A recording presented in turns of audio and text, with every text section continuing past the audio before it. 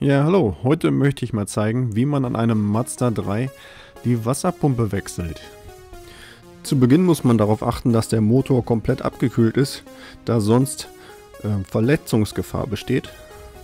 Ich fange damit an, zuerst das Kühlmittel abzulassen und beim Kühlmittel muss man darauf achten, dass es hier toxisch ist. Das heißt, man sollte damit besser nicht selber in Kontakt kommen und man sollte es auch nicht hier in die Umwelt gelangen lassen.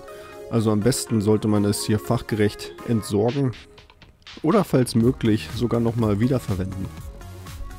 So, die Ablassschraube befindet sich am Kühlergrill hier unten links. Hier diese schwarze Plastikschraube, die löst man hier mit einem Schraubendreher.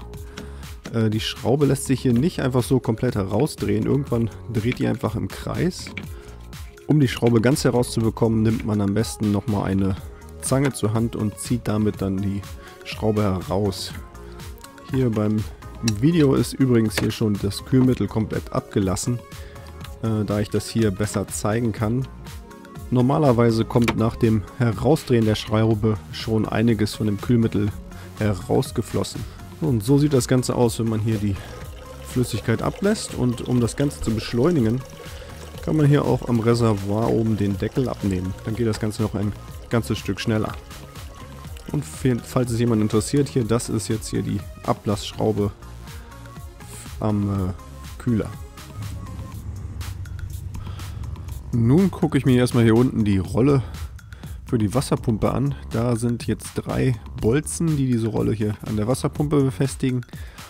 Und die löse ich jetzt erstmal hier mit dem Schraubenschlüssel. Das mache ich hier, solange der Keilriemen noch gespannt ist. Denn der hält quasi die Rolle hier erstmal fest. Und hier unten sieht man dann nochmal die drei Schrauben. Und um ein wenig besser hier an die Wasserpumpe heranzukommen, entferne ich hier im Radkasten rechts erstmal hier diese Plastikabdeckung.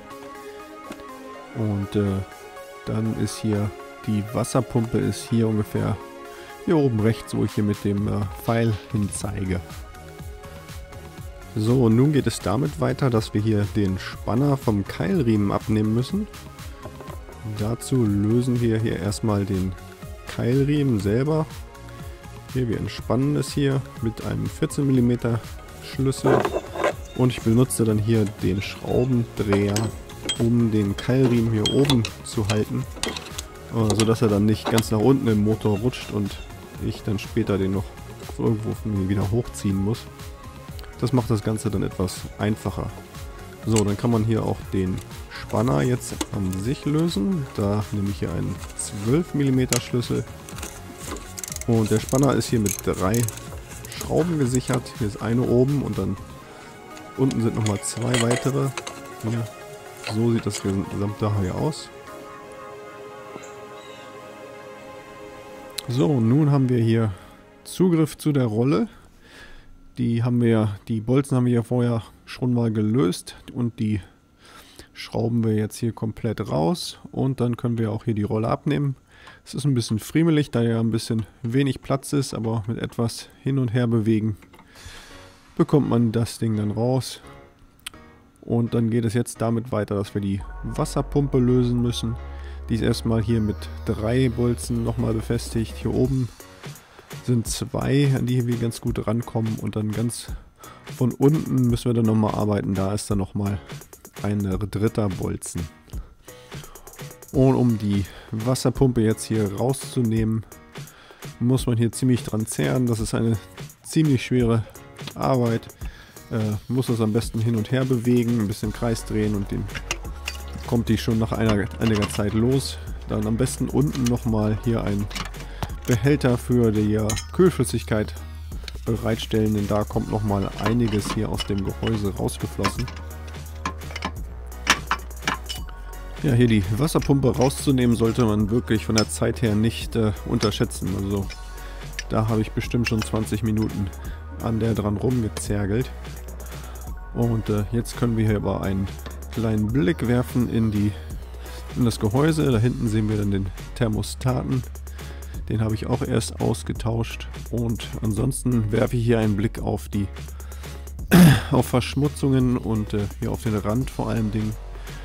Denn falls da noch äh, Reste hier von der alten Dichtung sind, dann muss ich die vorher alles hier komplett entfernen, denn ansonsten würde es später Probleme mit der neuen Dichtung hervorrufen und deswegen nehme ich hier mal so ein Plastikspachtel und mit dem kratze ich dann hier den Bereich komplett sauber. Dann, und dann nehme ich dann hier dieses Silikon, das ist so eine, eine Dichtmasse, die trage ich jetzt hier erstmal auf die Wasserpumpe auf. Dann mache ich hier einen dünnen, relativ dünnen Film nur. Aber ich sehe zu, dass ich den hier komplett überall verteile. Dann auch den Ohrring setze ich dann hier auf und verteile dann hier noch mehr von dem Silikon in der Dichtmasse. Und sobald ich damit hier fertig bin, setze ich die dann in die, die neue Wasserpumpe hier in das Gehäuse ein. Das geht hier dank dieser dank des Silikons relativ leicht. Das kann man sehr weit hier von Hand hier hineinschieben. Und anschließend nehme ich dann hier die drei Bolzen wieder und mit denen, mit deren Hilfe äh, ziehe ich dann hier die Wasserpumpe komplett an das Gehäuse dran. Da muss man aufpassen, dass man hier nicht zu fest die Bolzen anzieht, denn die sollen nur mit 11 Newtonmetern angezogen werden.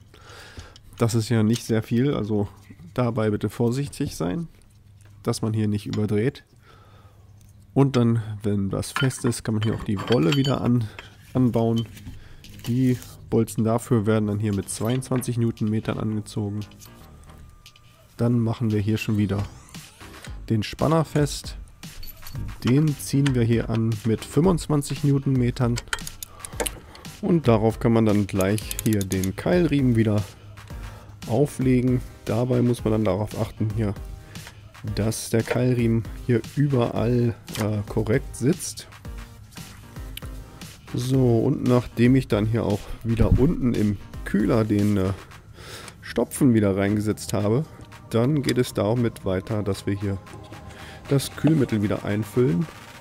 Ich benutze hier ein Konzentrat, das heißt ich muss hier das noch mit äh, destilliertem Wasser verdünnen und das mache ich hier äh, am Anfang so, dass ich hier erstmal einen Becher von dem Konzentrat einfülle und dann einen Becher destilliertes Wasser. Das mache ich so lange, bis der Tank hier so gut wie voll ist.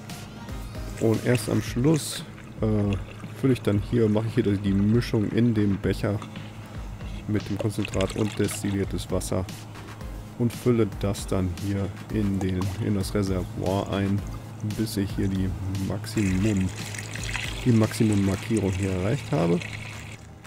Und dann mache ich hier den Deckel wieder drauf und dann geht es damit weiter, dass man hier den Motor startet und ihn für eine Weile lang laufen lässt und auch mal hier für eine Zeit lang die Drehzahl erhöht. Da geht es dann darum, jetzt hier die Luft aus dem System zu verdrängen. Und äh, dabei sollte man auch immer wieder ein Auge hier auf das Reservoir äh, werfen. Nicht, dass da die, äh, das Kühlmittel, der Kühlmittelstand zu niedrig wird. Und äh, gegebenenfalls muss man dann hier halt nochmal äh, nachfüllen. Und jetzt ist auch nochmal ein guter Zeitpunkt hier, um alles, um das System nochmal auf Dichtigkeit zu prüfen. Vor allem hier um, um den Thermostaten herum. Und falls alles okay ist, dann äh, ist das Ganze fertig. Vielen Dank fürs Zuschauen und äh, ich hoffe, das Video war hilfreich und vergesst nicht, meine anderen Mazda 3 Reparaturvideos anzusehen.